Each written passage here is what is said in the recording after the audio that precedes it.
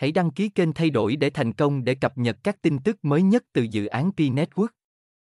Pi Network vừa công bố một yếu tố thay đổi cuộc chơi, phí giao dịch có thể tùy chỉnh trong ví Pi chính thức. Tính năng đột phá này trao quyền cho người dùng quyền kiểm soát tốt hơn đối với Pi của họ. Có khả năng hợp lý hóa các giao dịch và mở đường cho nền kinh tế Pi năng động hơn. Đã qua rồi cái thời phí tiêu chuẩn hóa. Giờ đây, người tiên phong có thể điều chỉnh phí giao dịch dựa trên nhu cầu và điều kiện mạng của họ. Phí tối thiểu là 0,01 pi.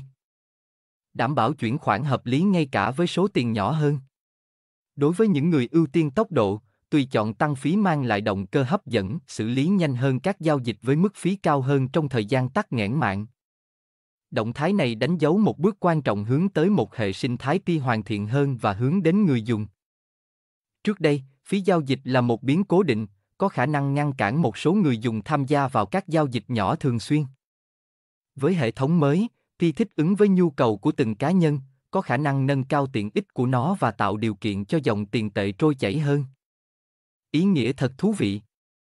Hãy tưởng tượng một thị trường sôi động nơi người tiên phong điều chỉnh phí một cách chiến lược dựa trên mức độ khẩn cấp của giao dịch hoặc giá trị hàng hóa được trao đổi. Các nhà phát triển hình ảnh đang xây dựng đáp ứng dụng phi tập trung, tự động điều chỉnh phí dựa trên tải mạng. Tối ưu hóa hơn nữa trải nghiệm người dùng. Các khả năng dường như vô tận. Tất nhiên, hệ thống mới cũng đặt ra những thách thức. Việc tìm kiếm mức cân bằng phí tối ưu có thể yêu cầu một số thử nghiệm và các thao tác tiềm ẩn trong quá trình tắc nghẽn mạng nặng phải được theo dõi cẩn thận. Nhóm Pi có đảm bảo với người dùng rằng họ liên tục đánh giá hệ thống và sẽ thực hiện các điều chỉnh cần thiết để đảm bảo tính công bằng và ổn định.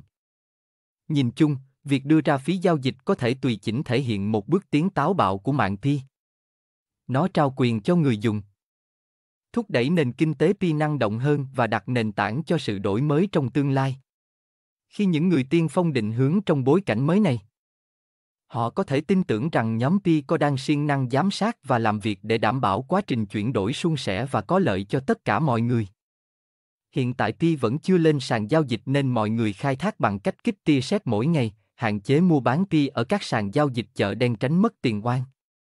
Chúc mọi người nhiều niềm vui trong cuộc sống, chúc cộng đồng Pi Network ngày càng phát triển và thành công.